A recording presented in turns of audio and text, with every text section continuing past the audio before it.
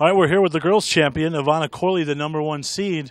Ivana, coming into this, you only dropped two games the entire tournament. You're down a couple early breaks there. So, what was your mindset? Take us through that. Um, I knew that it was going to be a tough match, so I was trying. I was. I knew I was going to have to work for every point, and that's what I tried to do. Tried to stay in there every point and take it one at a time. After the early going of that, you know, you really did a fantastic job returning her serve. You kind of took that weapon away from her. Was that a strategy coming in? Um, not really. I just knew I had to stay grounded, and it would be important, and it would help me if I could break her. And then just talk about what what you thought the difference was on your end. That forehand, just something she didn't have an answer for. You kind of spread her out throughout the corners of the court with that forehand. Yeah, I think um, my defense really helped me today, and um, my shot selection. So I was just trying to build my points and wait for the right ball. All right, so that's your girls' champion, Ivana Corley, the number one seed from El Dorado.